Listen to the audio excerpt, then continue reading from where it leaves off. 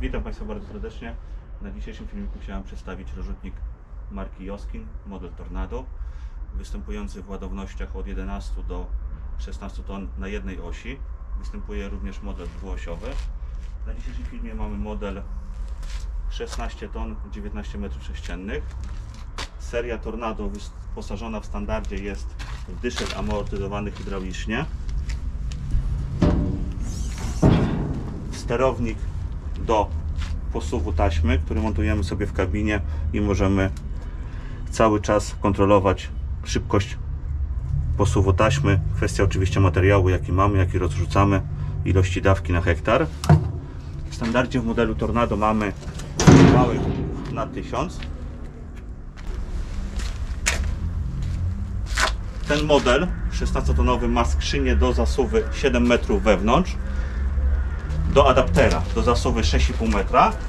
Ogumienie 710 na 70 na 38. W tym modelu jest adapter o wysokości 2,20.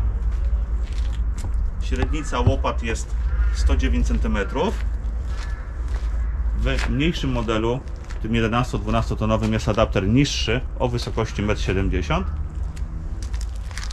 Napędzany jest adapter wałkiem na 1000 obrotów. E, Teoretyczna szerokość rozrzutu, dokładnego rozrzutu to jest od 7 do 16 metrów. Kwestia materiału, jaki rozrzucamy.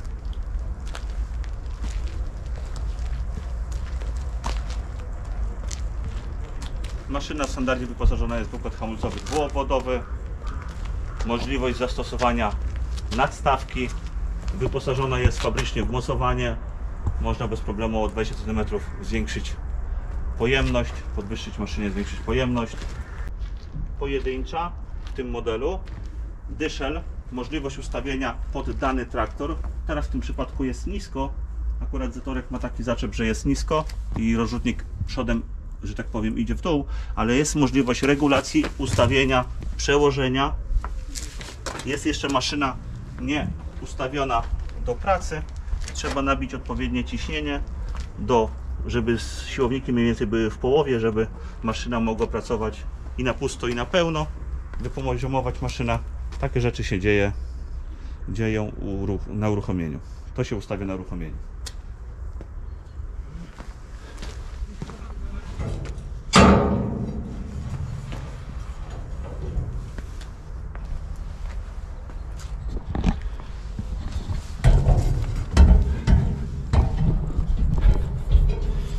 Wałek szerokokątny.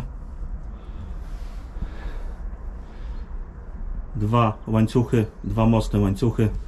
Zasuwa. Możliwość wyposażenia maszyny w e, deflektory kierunku rozrzutu. Zabudowa rynnowa. 157 cm głębokości, 145 szerokości.